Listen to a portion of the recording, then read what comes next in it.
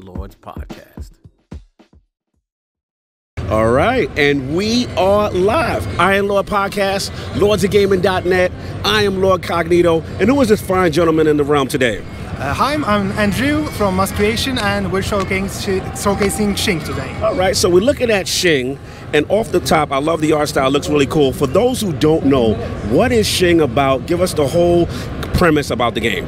Uh, so Shing is a game about slashing dem- demons to pieces uh, with your friends. Uh, we're trying to capture the spirit of old school beat 'em ups that you just okay. put in uh, when you have some friends over, mm-hmm. and like a lot of our design is centered around the idea that we want you to have fun instantly mm-hmm. Uh, with your friends with no like obstacles. Mm-hmm. And so basically, that's it. All right, cool. So smaller team. Again, I'm seeing initial four player co-op action that looks fantastic loving the art style so tell me about like the abilities of the characters things like that what are the things you can do in Shing because the game looks fun all right so the first thing we usually people realize is that we have an unconventional control scheme because you control your character your attacks with the right analog stick. Mm-hmm. The, the, gestures you made on the right analog stick translate into specific attacks. So okay. if you flick for example, like forward, uh, left, mm-hmm. you attack left. If you hold up, mm-hmm. you uppercut the uppercut uh, the enemy and follow it. You can do spins, half circles, and stuff like that. So a lot of analog, right analog control. Yes, okay. yes. Basically, this is the, the main main thing, and we have uh, like a free flowing combo system. So you can you can. Uh, mix and match different kind of combos mm-hmm. into like a real attacks, combo attacks with your friends. Uh, the basic premise was that we wanted it to be very robust, but yeah. very, very simple to understand. Okay. Most people just experiment with the stick for a moment and then they could do like crazy 50 so we can get real complex with the combos okay we like that we like that now again i'm noticing four player so seamless drop in drop out uh, for co- cooperative play yes definitely you can drop in at any time mm-hmm. and uh, the way we the, the, game changes the more people are uh, is the more complex enemies have attacks that will work very well in crowds. So they have like area attacks, or they they you know they use different attacks. The more people they are, they, so the game gets harder without it getting grindier. Oh, uh, and okay. what's more, you, at all times you have four four characters available, okay. and they have different uh, separate health bars. Okay. So if you're playing alone, you have like four lives, and if you're playing with your friends, everyone's on their own. Oh, cool! Absolutely. And you can switch at any time actually. So if you get bored, oh, so you can switch. Okay, wow. Okay. So if you get bored of a character, you can just switch uh, to, into another. Now, how many characters totally are in the game? There are four characters in the game, okay. uh, and they have pretty similar abilities because we don't. There are two reasons. The first, we wanted you to be able to switch to any of them at, the, at any time because they do work as different lives, and we wanted to avoid the situation where uh, people have clear favorite or character they dislike and they get stuck with it. You know? So what is going on right now?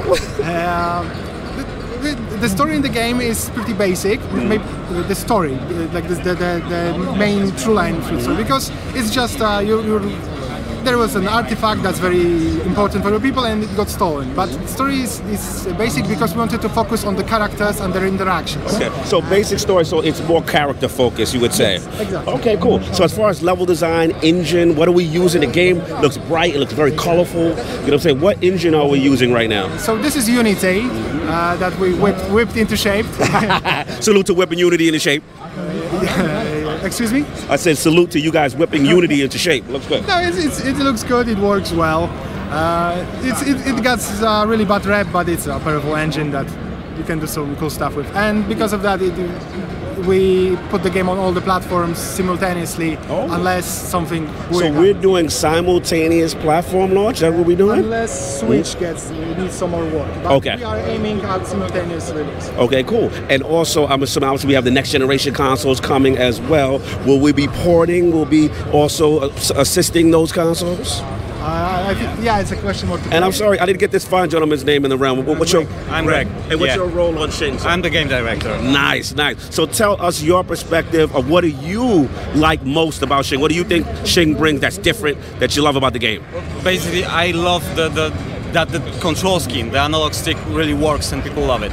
Because that was the most scary part when developing Shing. We, we really didn't know if the if You're the scared of that analog control, huh? yeah, yeah, because you know we already have some some uh, some some people telling us during the beta that the right analog stick just went off. So uh, yeah, it's very heavy on the right analog stick. Yes, so yes, yes, yeah, if you have an old old Xbox 360 controller, yeah, it might not. that that level of sensitivity might not be there Yeah. for you to do what you need. So, yeah, so this is basically, and I love the characters. I love the design, uh, that our approach to Oni demons, uh, demons, and, and stuff like that. So yeah, for me, Shing is a is a basically a dream come true. I'm an old school beat 'em up. uh, That- beat 'em that- up. that's where we come from. The old school, the Yeah, beat 'em ups, you know, the, the four players, the Streets of Rage, the Teenage Mutant Ninja Turtles. You know, so that these are games that speak that to. would be a dream project. Doing Yeah. uh, You, you hear that, developers? If you want to make a sequel to, to Streets of any publisher listening, this Shing, the team, they're ready. no doubt. This looks put absolutely. a couple of beers into Greg and he will just go off. I was like, I, I would love to do Teenage Mutant Ninja Hey, TJ, if you're listening. So, Lord, Lord Gene, any questions? How you feeling about the game, man? It just blew my mind with that Teenage Mutant Ninja Turtles thing. Like this is the Teenage Mutant. Oh my god, the the uh, the twin stick uh, combat feels really smooth. I love the way it feels. Uh, it, and it's fun. It's fun. It was genuine fun. It's a good game. So, so it, you, you're feeling the analog control? Does it feel intuitive to you getting the combos out?